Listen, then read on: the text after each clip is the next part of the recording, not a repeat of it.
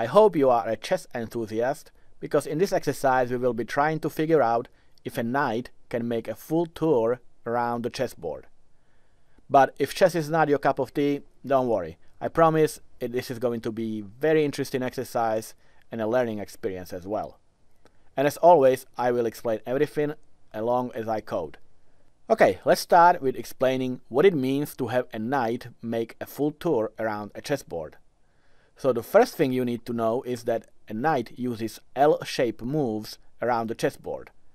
And the goal here is for the knight to step on every square on the chessboard without stepping on any of the squares more than once. So let's have a look how we are going to approach this. So here you can see that a knight has 8 available L-shaped moves. Notice that the moves consist of a position that moves the knight horizontally and a position that moves the knight vertically.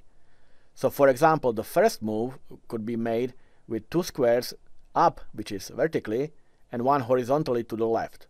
Or it could also be one square horizontally to the left and then two steps vertically to the top.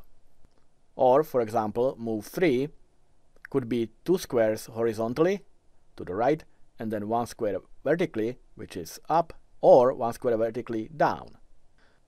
So what we can do is to save these possible moves into arrays.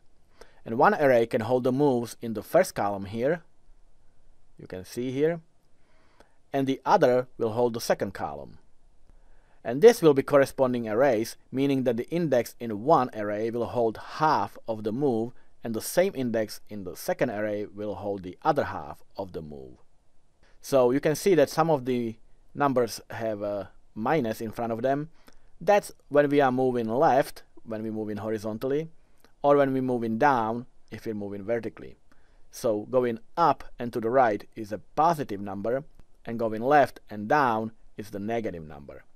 So for example, negative 2 and negative 1, which is the 6 moves over here, you can see we're going two down and one left. Alright, so let's discuss our strategy to make the moves. So we will start the tour by randomly selecting a box. Then at the beginning, all the boxes on the chessboard will be empty except for the cell in which the knight starts the tour. And as knight moves, we will place a character on each box that the knight steps on.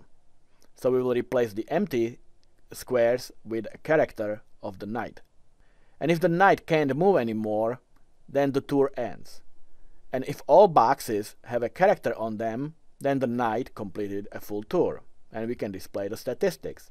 However, if there are any empty boxes, then the tour is incomplete, and the knight is simply stuck. He cannot move without stepping on one of the squares that he already visited. So we will run the program until a full tour is made. So we will just press the button and let it run. And we will display how many tours it took to finally finish a full tour. And we will also display best tours as the program progresses. So every time the knight performs a better tour than any previous one, or it matches the best tour from the previous moves, we will display the stats and the chessboard. So like I said, we will run the program until the knight finally finds its way around the chessboard. So let's have a look at possible output. So notice that at the end we display the final board which now consists of all axes which is the character for the knight that we chose. But the boards displayed before the final tour was made, they also show some empty squares which uh, mean that the knight was stuck and couldn't move anymore, but did not finish the tour.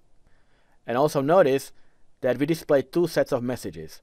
First, for example, up here, we display that, okay, you did not complete the tour yet, but you made 62 moves, and this is the number of the tour, and this is the best so far. The next message you can see that it simply says that we matched 62 moves that we already reached before and it is still our best move. Then from 62 moves we finally made 63 so again this is the best so far. We display the message. Then we hit 63 two more times. We display the message.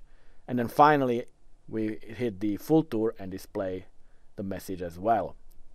Alright, so this is the introduction to the problem and in the next video we will start coding by creating our chessboard class. I'll see you in the next video.